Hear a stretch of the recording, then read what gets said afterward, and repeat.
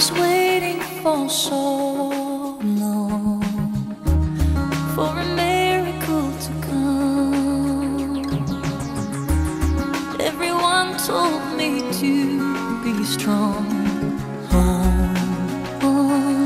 And don't shed a tear through the darkness and